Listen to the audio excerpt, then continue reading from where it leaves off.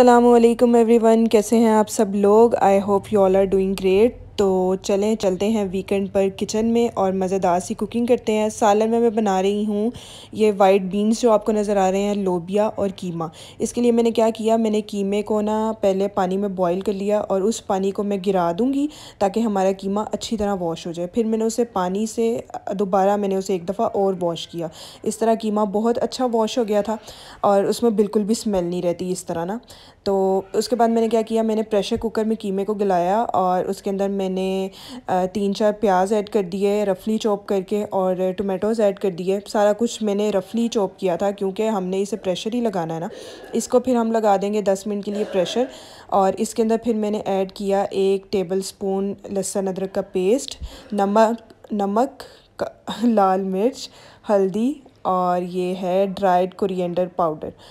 So so, इन सारी चीज़ों को ऐड करके हमने मिक्स कर लेना है। मिक्स करने के बाद हमने कोई दस मिनट के लिए प्रेशर लगा देना है। प्रेशर खुलने के बाद सालन के कुछ ये हालात थे। पानी बहुत ज़्यादा था इसलिए मैंने इसे एक बड़ी कढ़ाई में ट्रांसफ़र कर लिया ताकि आप लोग को भी क्लियर नज़र आए और पानी जल्दी ड्राई हो जाए।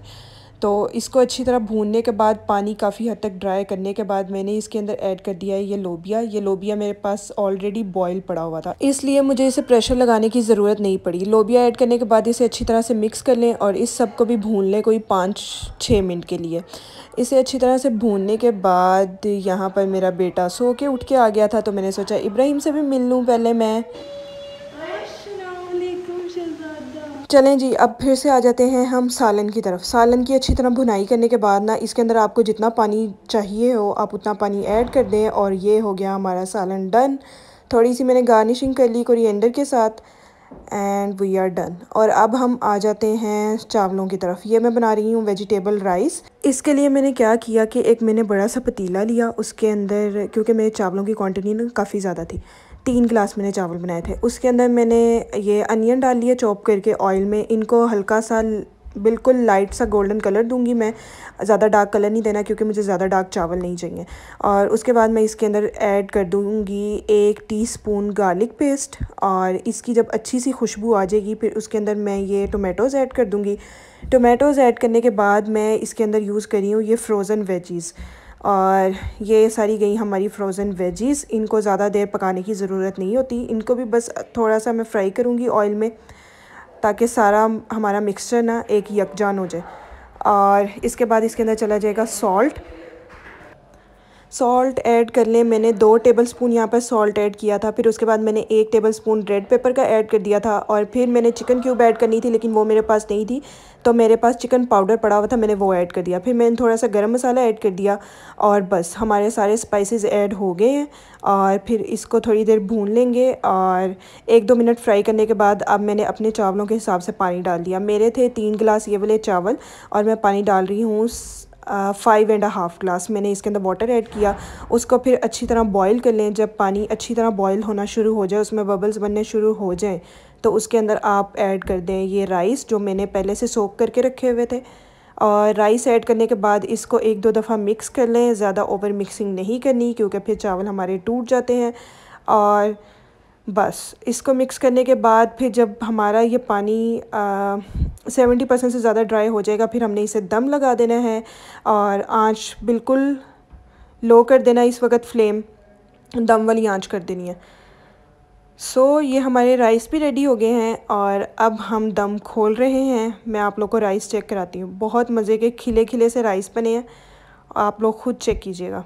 ये चेक करें। माशाल्लाह माशाल्लाह। कितने प्यारे लग रहे हैं हमारे राइस और ये साथ हमारा सालन भी रेडी हो चुका है।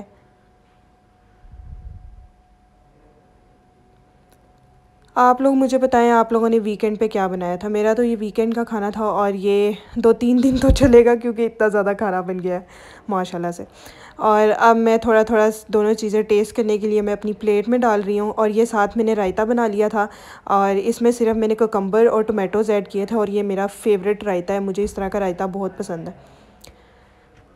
तो ये हो गई जी मेरी प्लेट रेडी और इसके बाद मैं आप लोग को बताती हूँ मैंने मीठे में क्या बनाया था। ये ले लिया है मैंने एक पतीली में एक लीटर दूध ले लिया मैंने। उसके अंदर मैंने शुगर ऐड कर लिया, अपने हिसाब से जितना मीठा हम खाते हैं। आप लोग अपने हिसाब से ऐड कर लीजिएगा जितना मीठा आप लोग को पसंद है। उसके बाद मैंने इसी के अंदर से थोड़ा सा दूध मैंने कप में ले लिया था। उसके अंदर मैंने ऐड कर दिया है वनीला कस्टर्ड। डायरेक्ट मैंने दूध में ऐड नहीं किया ताकि लम्स ना बन जाए हमारे मिल्क में ना। और इसके अंदर मैं इसे पहले मिक्स करने के बाद फिर मैं इसे थोड़ा थोड़ा करके मैं दूध में ऐड करूँगी। और साथ साथ आपने ना इसे हिलाते रहना है। ये देखें, मैंने दूध बॉईल करते हुए कितना मेस क्रिएट किया था अपने चूल्हे के ऊपर। और मैंने ये मीठा ना खाने से पहले का बना के रख लिया था, क्योंकि इसे ठंडा भी करना होता है। हमेशा मीठा आपने जब भी बनाना हो, वो खाने से पहले बना के रखा करें, क्योंकि मीठा हमने मोस्टली ठंडा भी करना होता है। या तो अगर गर्म गर्म देना है तो खैर है। तो ये हमने कस्टर्ड ऐड कर दिया इस दूध के अंदर और इसको हम मिक्स करते रहेंगे। और अब आ जाते हैं, हमारा कस्टर्ड रेडी हो गया था, उसे मैं नॉर्मल रूम टेम्परेचर पे ले आई थी। फिर मैंने ये एक प्लेन केक लिया बाउल के अंदर पहले उसकी लेयर लगाई और उसके बाद मैंने कस्टर्ड लगाया। फिर मैंने ग्रेप्स डाले ढेरों ढेर, क्योंकि मुझे इसी तरह का कस्टर्ड पसंद है, मुझे इसके अंदर और कोई फ्रूट नहीं पसंद। दो लेयर्स बनी थी मेरी इस टोटल मिक्सचर के साथ और मैंने सिर्फ़ प्लेन केक ऐड किया था उसी से मैंने सारी गार्निशिंग की और, और मैंने सिर्फ़ ग्रेप्स ऐड किए थे। मैंने इसके अलावा इसके अंदर कोई और फ्रूट ऐड नहीं किया। मुझे वो बनाना और एप्पल ना बहुत सोगी सोगी से हो जाते हैं।